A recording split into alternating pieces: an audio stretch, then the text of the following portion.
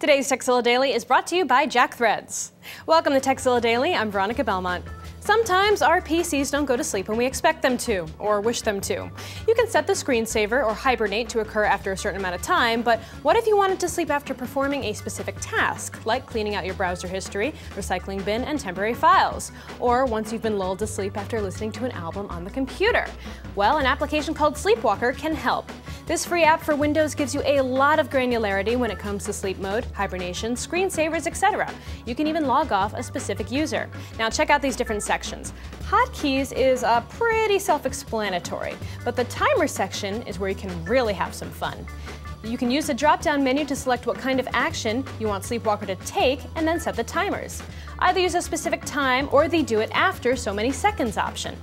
As I mentioned, under Cleanup, right up here, you can have the application perform other maintenance tasks before it shuts down or logs off or whatever. You just set it and forget it. Download it over at sphynxsoft.com and thanks to ghacks.org for the tip. Now, if you have a tip you'd like to share with the world, let us know. Email us at tekzilla at revision3.com. And don't forget tekzilla.com. It's the place to find more tips, tricks, product reviews, and how-tos.